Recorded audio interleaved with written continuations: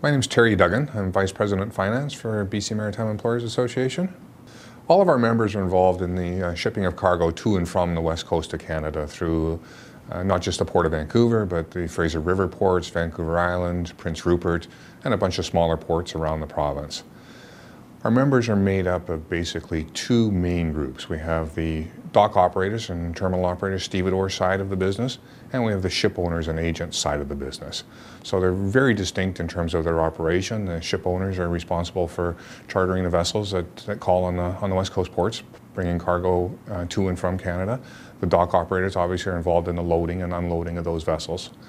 It's an interesting combination of members. Within the group, the members are in competition with each other. They're trying to attract cargo to their vessels, to their dock facilities, and they're trying to get that business from each other. So, so on the one hand, they're in direct competition with each other, but the real competition here is to attract cargo to the west coast of Canada as opposed to the west coast of the United States. That's where our, that's where our real competition is, and that's where BCMEA plays a role in assisting our members in maintaining that competitive edge.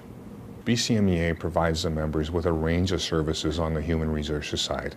Uh, recruitment, uh, training, dispatch of labor, uh, labor relations, a full suite of services to uh, assist them in, in, uh, the operation, in their operations from a human resource management side.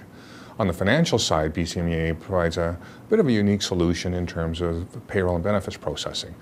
Uh, the employment on the waterfront is is on a day-to-day basis. So an employee may work for a terminal on day one, a different terminal on day two, and a third or, or, or more terminals within the same week. BCMEA, through its collective nature, is, is able to consolidate that payroll into, into a single payroll uh, providing cost efficiencies for both the employee and the employer. And that extends into the benefit side too. Having consolidated the payroll together, we're able to offer the suite of benefits to our collective agreement employees uh, under the uh, Longshore and the Foreman collective agreements.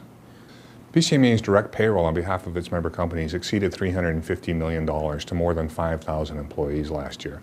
And that's just the tip of the iceberg. The spin-off jobs uh, created by the port around trucking, rail, warehousing, um, suppliers, service providers, etc. It's estimated that the port generates 129,000 direct and indirect jobs with a payroll of $6 billion. This is big business. Right? Our member companies moved 70 million tons of cargo in 2010 alone.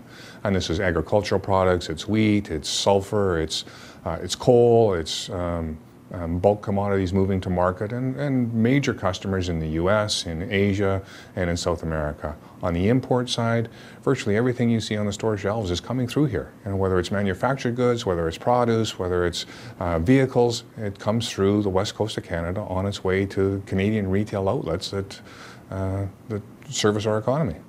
The Asia Pacific Gateway is a, is a huge economic driver for Canada's economy. With its members, BCMEA contributes uh, to, the, to the national economy in a, in a big, big way with a total gross domestic product impact of about $10 billion a year.